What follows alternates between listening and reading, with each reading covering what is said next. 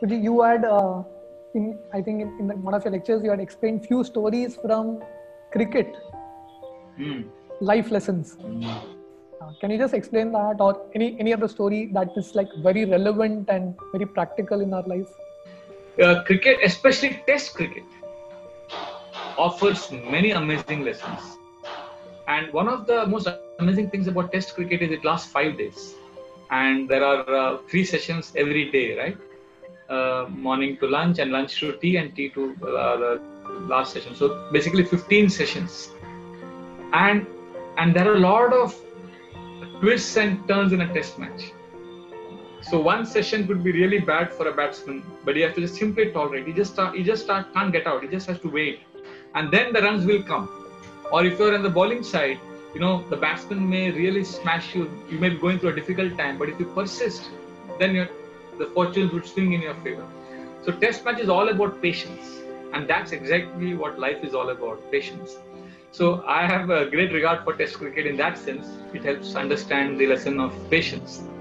Secondly, um, cricket also, like Ra- Rahul Dravid's story, I had heard it in one of his own speeches that where he said that he was about to be thrown out of the Indian team. He had been failing consistently. But in that historic match in Eden Gardens, when India won after being forced to follow on, he had come to bat, and the Australians were experts in sledging, were you know, were uh, actually getting on his nerves. But he was focused on one ball at a time. He said, "I don't care if I don't make it into the team the next match, but this one ball is what I have, and let me just play this ball." So I thought that's how our chanting is, that's how our devotional service is. This one Maha Mantra that I'm chanting now is what I have to offer Krishna. If we take one day at a time, one one moment at a time, I think that's that's that's what a cricket batsman does.